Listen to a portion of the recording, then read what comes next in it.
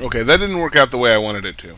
Um, let's try that again, shall we? And this time we're in speedrun mode, eh?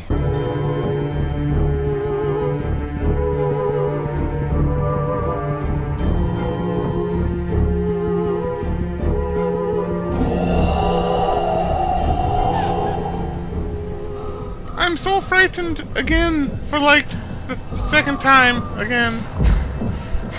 At least I can look kind of.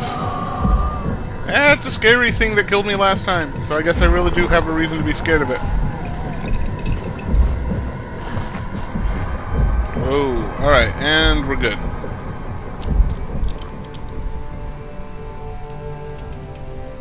Ah, crap. Come on, mouse, do it. Bienvenue. There you we are now listening to the sound of my disembodied voice. It will serve you no purpose to look for me, for this is a voice from the past. Alright, I let's go. bid you welcome to my cabinet of perturbation. Why can I not run? Hey, bad guy, what's up? Can I please run? Why is this not running? Why is run not working?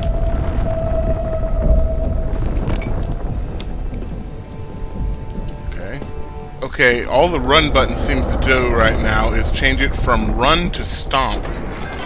Oh, yeah, that's right, it comes outwards. Alright, now, uh...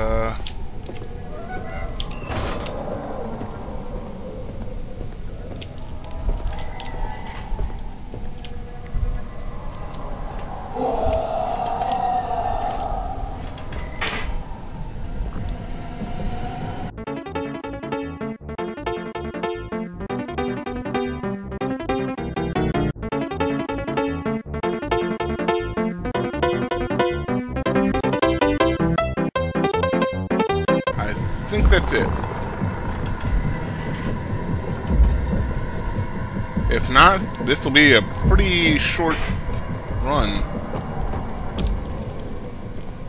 Okay, let's close this door. Alright.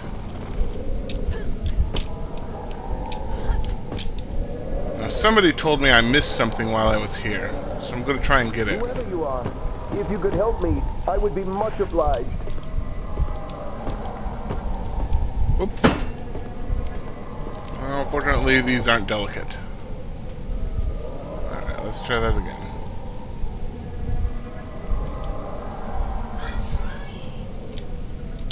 Yeah, I'm trying to. There we go. Alright.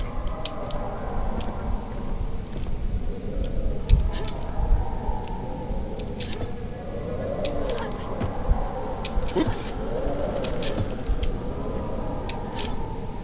There we go. Whoa. Uh, hello? Oh, come on. I do not need another one of these. Besides, I don't think there is an... Oh, you know what? Okay, I do not see what's up here that... It's a lot of boxes and shit. Maybe I need to back up a little bit. Whoa. Alright, and then try a run jump. Nope. Whoops. I'm still still using Minecraft controls. Alright, let's see if I can't. Uh, okay, that didn't work. Let's try that again.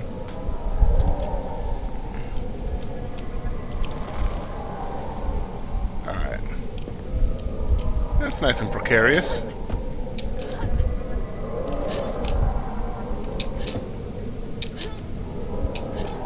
There we go! Yay! Alright, let's take a look at what's in here.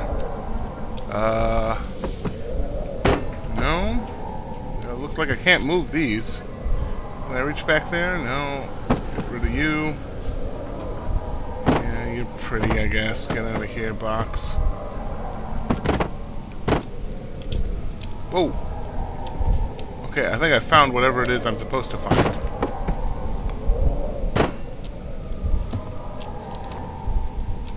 Hello? A lamp. Oh. A wax cylinder. A wax cylinder for a phonograph. Ah. And we learn more. Yeah, it's like Jenga. Alright, uh... think that's enough.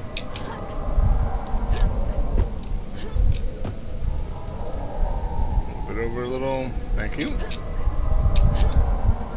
Alright.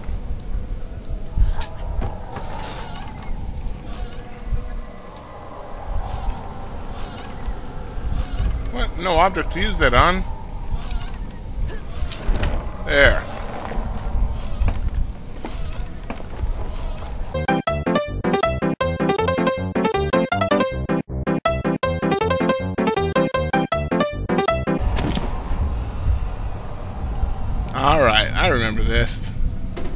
No cylinder. Let's try it out. Oh. Come on, dude. Speak into the phonograph, Basile, mon chéri. What did you put into the wine?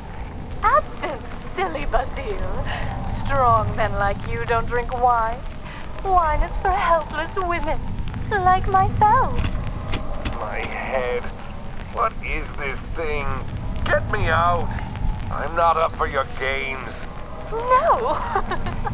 you have to say it first. How beautiful am I? Plenty. Now let me out of this thing. No. That is not what you say. Uh, your beauty is blinding. Ah! My eyes! What have you done to my eyes? Justine! This isn't funny! You've blinded me! Ha ha! Can't catch me now. I'll kill you, you whore! Er, does this mean the thing that's following us around is uh, Basil? Because let's face it, female protagonist, female antagonist. Uh, chances are pretty good that we're playing Justine.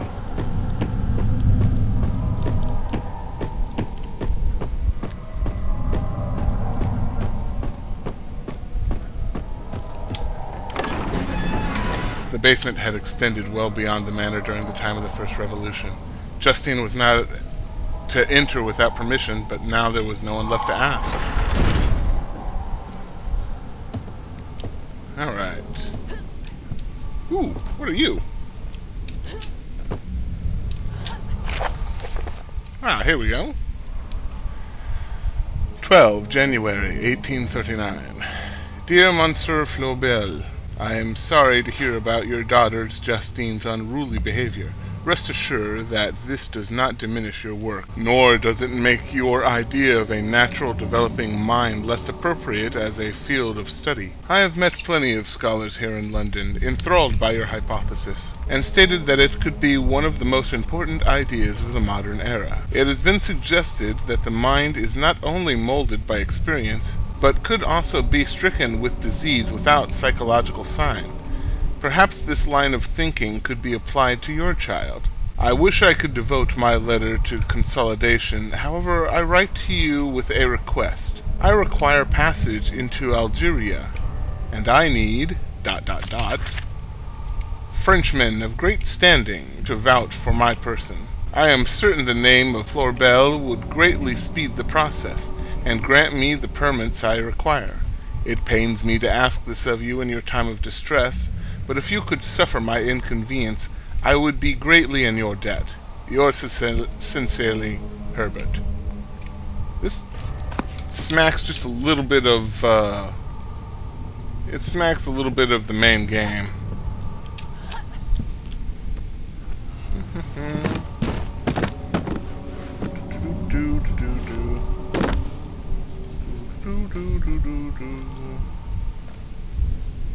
Yeah, I've been also been told there's just hidden shit everywhere. But I don't see anything. Okay, here's this letter. Blah blah blah, results, let's go. Here we go. Can't get by without breaking this. Anything hidden on the shelves? Yeah. This girl's strong. Ah, here we are. The heck? Okay. These shelves are clean. I now have three slimes. Alright.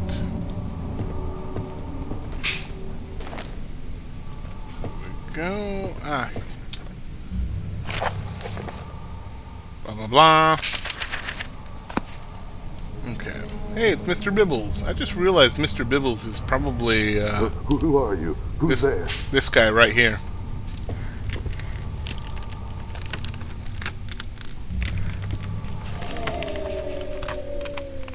Huh. That's kind of weird. Oh, hey, yeah. We'll deal with that in a second. What about on this? The hell? Huh. Something back here. Shipment slip. Congratulations on your fine purchase. The Lumina projector box with accompanying puzzle lock is the pride of our company and the greatest seller. Having earned your patronage, we would like to share with you your privileged insight on our newest workings, the Span Space device. This new machine is unlike anything you have ever witnessed. Come and visit our testing facility and try our state-of-the-art inventions in a safe environment. Please write your name and address on the back of this slip and mail it back to us. AS Incorporated, Boston, Massachusetts. Gosh. That must be what the guy was probably telling me to look for. Uh, Aperture Science, Boston, Massachusetts? Wait, that can't be right. Aperture Science is in uh, Idaho. Spoiler! Okay, so here's the deal. Uh, I screwed up this puzzle the last time, so now I'm going to fix it.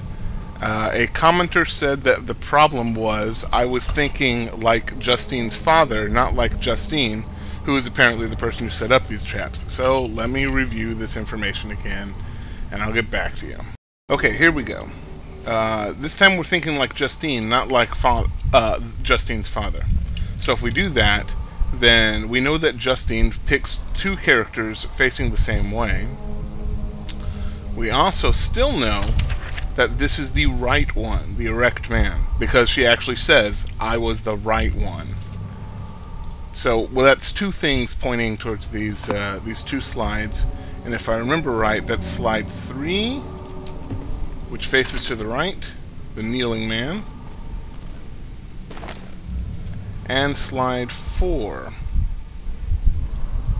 which is as uh, the erect man, which was referred to as the right one. Let's try it out. And don't tempt me, man. Here's slot three. You Here's slot four. burn for this. Well, uh, we'll see if you'll be freed for this or not. Have mercy. Er. Well, he's not dead, so let's try four and three. Look out for Justine. That demon. She may still be close. huh. Okay. Well, apparently uh, they expected somebody to screw up the order. So, alright. On we go.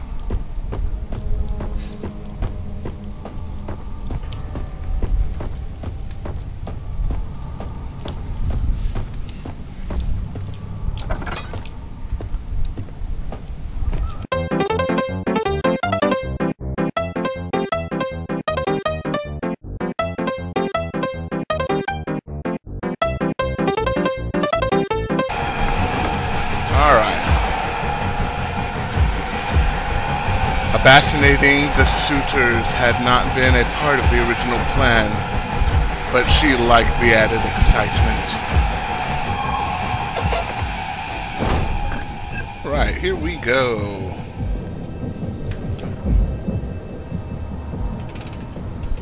I'm sure you have figured out how it all works by now. Are you enjoying my quips? Yeah, this again. I think they are quite clever. Not that I was ever much of a conversationalist. Okay. Poetry has always been my forte, but I digress. You should press on. It will all be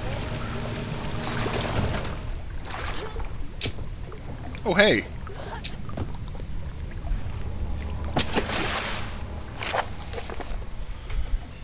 Seventh of July, 1839. Monsieur Florbelle, my name is Daniel, a friend and colleague of Professor Herbert.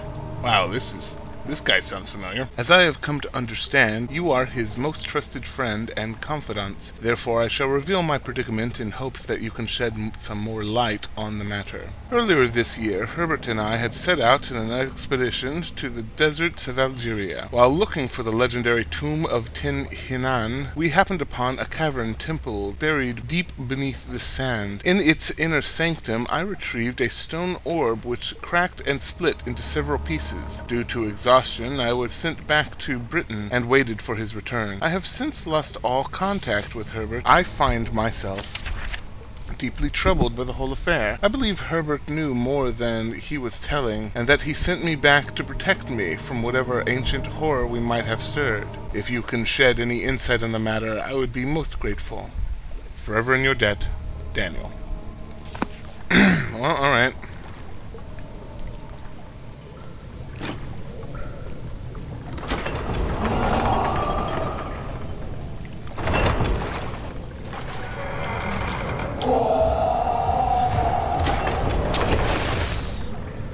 Okay, I think we've caught on that this is about speed.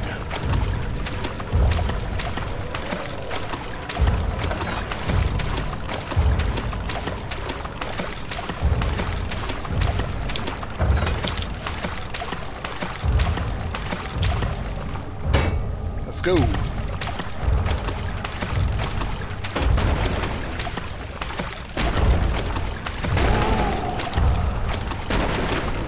I hear you, buddy. Oh, goodness.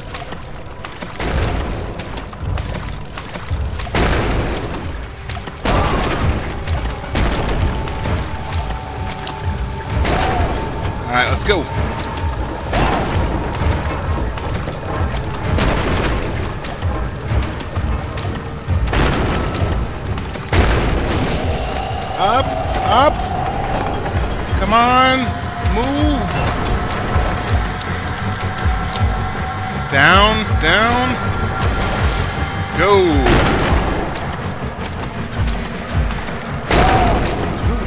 Oh shit, man.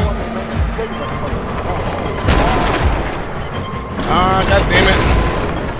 Let's go. Ah, hoping this is the right one. This is not the right one.